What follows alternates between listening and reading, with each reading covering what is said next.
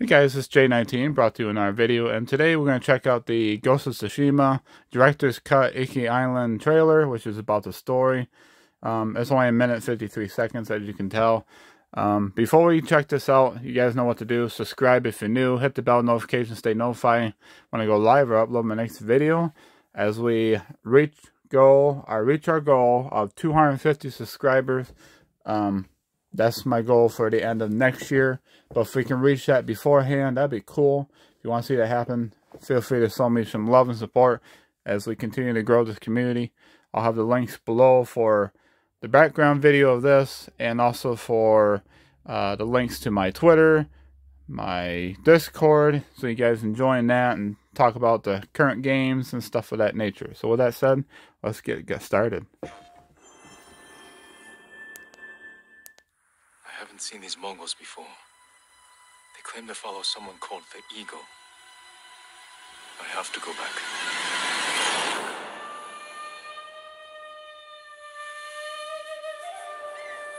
Music's always oh, incredible.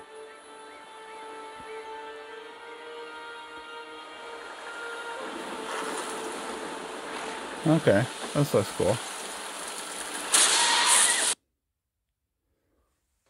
Really? Hang on, guys. Let me fix. Alright, guys, I'm back.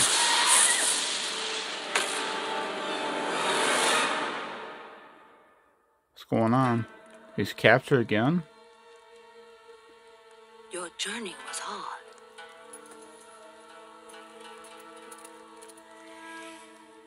Drink. Let me guide you through the horror. Purge the guilt from your spirit make you whole again. Those people lost their minds. If the eagle can do that to the whole island. The heck? What's a samurai doing on Iki Island? The eagle sent a scouting party to Tsushima. I knew I had to stop them.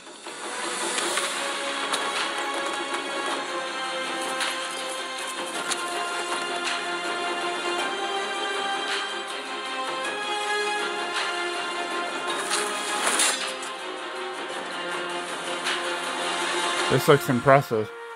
Looks impressive. Don't don't get me wrong. The story looks interesting.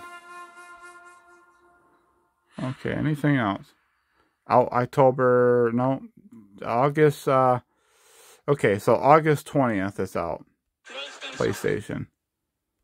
Um, well, we're gonna run this back and we'll talk about for a short bit.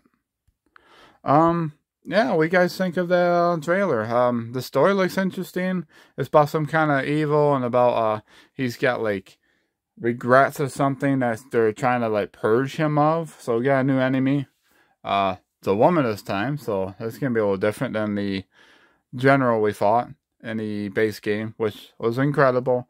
Um, the combat looks about the same, so you expect this to carry over. Um, I think it's in 60 frames hopefully. It looks like it's 660. Uh, visuals look great, as always. Um, I always had no issue with the visuals. It's the art style they chose. So, yeah, actually, you got to take that in effect, too. So, this looks good. Looks interesting, the story.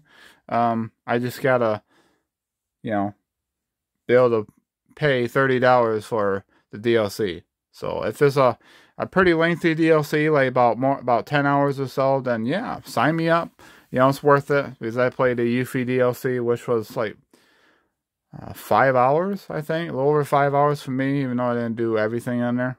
Um, so if it's more than that, then yeah, I'd, I'd be willing to pay 30 The story looks interesting, like I said, uh, gameplay, of course, the characters as well. So let me know in the comments below what you guys think of this trailer. Let me know in the comments below if you also plan on getting the DLC. Have you played Ghost of Tsushima?